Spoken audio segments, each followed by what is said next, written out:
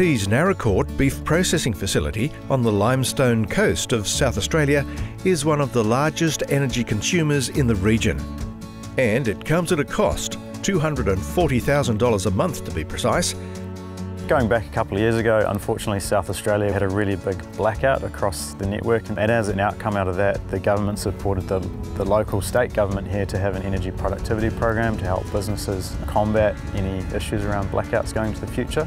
We were successful and, and lucky enough to partner with SA government, allowing us to implement the cogen to couple with this biogas farm so that we could use that energy, convert it to electricity and heat, which is really advantageous for a meat processing facility that requires refrigeration and steam as well for its processes.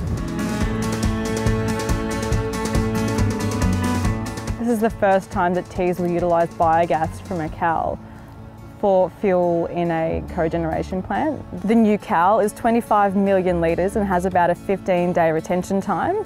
Across that period, we hope to achieve about 90% COD reduction, and that means maximum realisation of the biogas yield of that wastewater.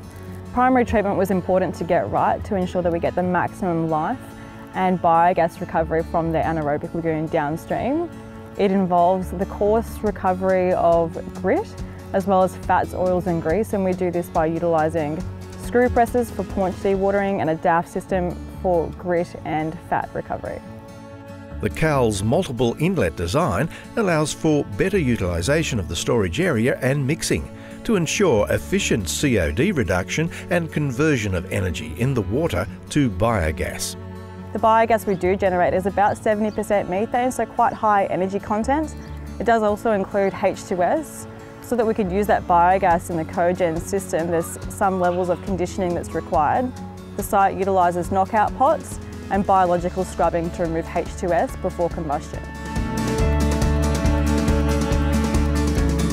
The whole project was strategically timed, with the previous conventional open to atmosphere crusted anaerobic lagoon reaching the end of its usable life. It had accumulated some bottom solids and had accumulated a thick surface crust as well, so that reduced the hydraulic retention time of the wastewater. So we proactively planned to replace that with the CAL. The project was not without its challenges. The management of materials, contractors and construction had to be carried out with minimum disruption to the facility. There's a lot of pre-work need to be done. We need to diverting all the flow of the previous wastewater to make this possible. So there was some challenging working around the, uh, the clocks and working around the site operation hours to get it done. One of the key learnings we've had out of this project is engaging and partnering with the local network authority to make sure that the cogeneration engine is integrated correctly, it's working in a safe manner, and that's a process that end users need to go through to make sure that they can connect to the grid. And so it's just allowing appropriate timing around commissioning and connections and things like that to make sure that we do go through the required processes and the engineering that goes with that. The meticulous planning and project management has paid off, delivering a raft of environmental benefits, including the reduction of greenhouse gas emissions and odour emissions, plus built-in leak detection function and sludge removal.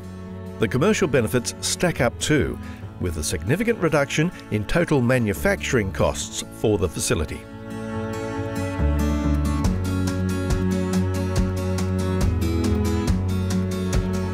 It gives the community the confidence that Teys is here to stay, here for the long haul.